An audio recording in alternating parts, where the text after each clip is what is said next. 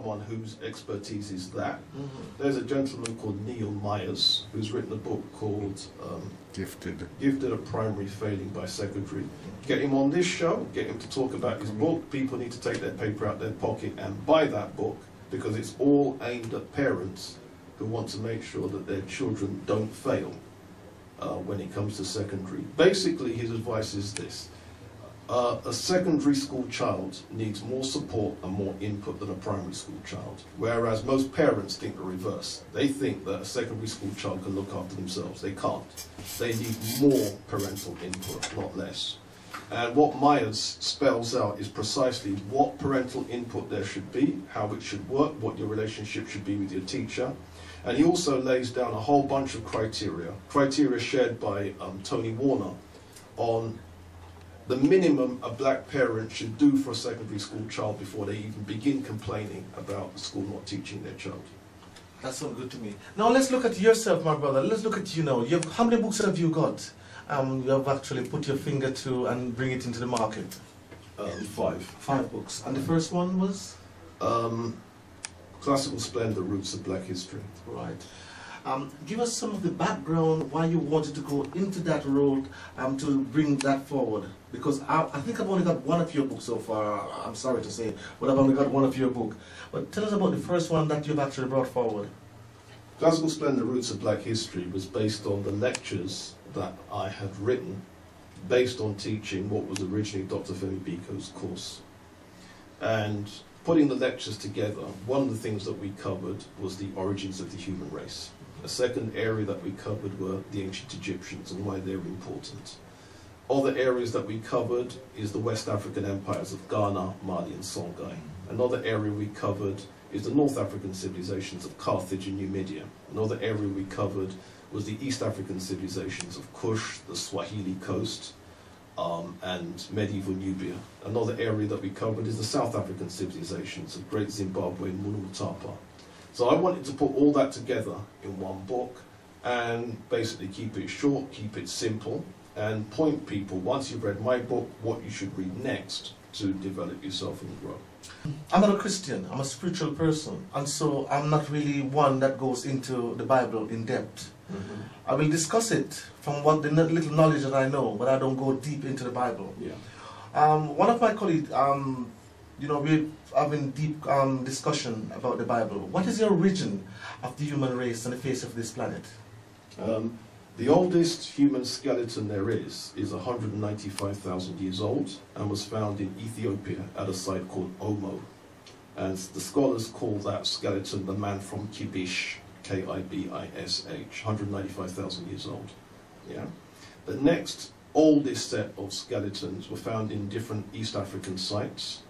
Omo in Ethiopia again, uh, Laetoli in Kenya, Klasies River Mouth uh, river mouth in South Africa and Border Cave in South Africa. And these skeletons are between 110 and 130,000 years old. Yeah? So if we're dealing then with the bones, 195,000 years. That's one way of doing the research. Second way of doing the research is doing something called mitochondrial DNA, which is just like you can work out parents and children, who's the parents and who's the child by looking at DNA. You can then look at who's the parent population and who's the children population. And people who've done that, Rebecca L. Cann, who's a professor of genetics at the University of Berkeley, did a, a paper in 1987 where she suggested that all human beings are traceable back to a parent African population. And that African population uh, goes back 200,000 years. Mhm, Yes. There are two schools of thought when it comes on to how the human race came about. There's the monogenesis, which is what he's just speaking about. But what would you say about those who say that it's polygenesis, that different races came about at different times? Yeah, there's two problems with that. The first thing is Europeans have to explain why have they've got African mitochondrial DNA. Asians, and by Asians I mean yellow people, are going to have to explain why they've got African mitochondrial DNA. Yeah? The fact that they've got African mitochondrial DNA means that it's not polycentrism, it's monocentrism. Now, I'm aware that the hmm. polycentrists did exist, but my view is, provided we know the truth, let them hmm. say what they like. Yeah? And if they want to claim alien origins, let them claim alien origins. We have to deal with what's scientifically verifiable. Brother Sean? Yeah, my question that I'd like to ask is, as a young parent myself, um, as somebody I feel has been through the British education system and, and overcome the challenges that come along with going through that British education system. You mentioned earlier that it's a training. That's education. I, I totally agree to, to, to, to that uh, statement. What do you think we ought to be doing as young parents, as um, people in the community? You spoke about your course. How can we scale that up? How can we as a community work to bring what you're doing further to the fore of everybody in the community?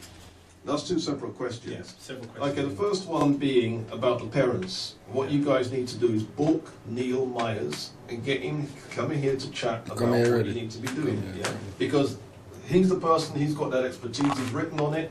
You follow me? He's a team. Huh? It's He come come, already. he come already, yeah. Oh, well, We there have it his That's the guy, Neil We plug his Myers. book. we Yeah. We've been plugging his book. Yeah. And I've got nothing more to add to that, in truth. Okay. Yeah. I mean, I could repeat what he said, but that's all I'm doing, just repeating what he said. As far as um, taking the Black Studies thing forward, my whole thing is is that um, uh, people want to study with me. I'm available. Uh, uh, write to me.